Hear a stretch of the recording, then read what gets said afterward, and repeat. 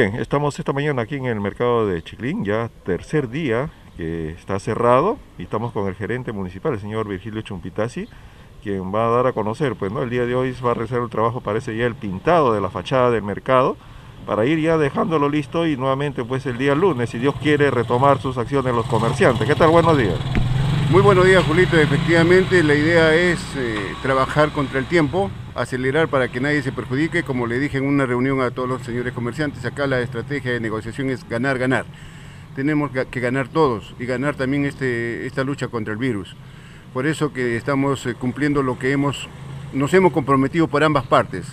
Yo creo que los señores comerciantes también ya el día de hoy o mañana más tardar también están pintando el interior y conforme se ha comprometido la municipalidad también nosotros vamos a hacer el aporte que corresponde. La parte que corresponde. Así es. Eh, señor Virgilio, también se habló ese día del tema del agua, que es un problema a veces para los servicios higiénicos. ¿Todo eso también ya se está dando solución en el área de servicios públicos?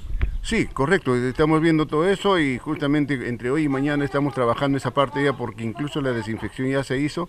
Hemos dejado un poco que haga efecto la fumigación y vamos a dar otra pasada más para, que, para asegurarnos.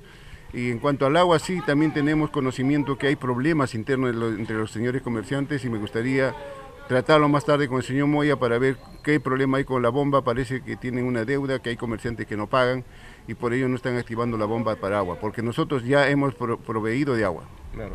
Eh, acá hay otro tema también preocupante, señor Vigilio, y siempre los, las personas que ingresan al mercado, las amas de casa, preguntan, ¿hay un servicio higiénico? ¿No saben quién lo administra? ¿Si es directamente ustedes o eso está a mano de la, de la directiva del mercado, señor Virgilio? A ver, los servicios higiénicos están bajo la responsabilidad de la municipalidad. Por eso que ya el año pasado nosotros hemos recuperado uno de los servicios higiénicos de, la ubicación que estoy a la parte izquierda al fondo, ya se recuperó porque estaba hecho un asco, eh, estaba inoperativo y estaba pero en un estado pero pésimo. Ya lo hemos recuperado, está en funcionamiento. Tenemos entendido que hay otro al lado derecho que también lo vamos a recuperar.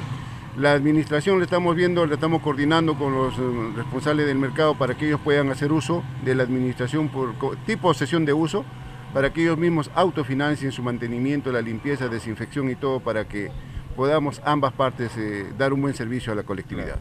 Eh, el día de hoy vemos que están viendo todo lo que es relacionado a la fachada para el pintado. ¿En cuánto día, en qué día o en qué hora estaría terminado ese trabajo, señor Virgilio? el objetivo es que el día lunes esté operativo el mercado. Este, estamos tomando las eh, previsiones del caso, estamos haciendo los cálculos correspondientes y según eso ya actuamos de inmediato. Pero el compromiso sí o sí se tiene que cumplir conforme lo se ha establecido en el acuerdo con ellos.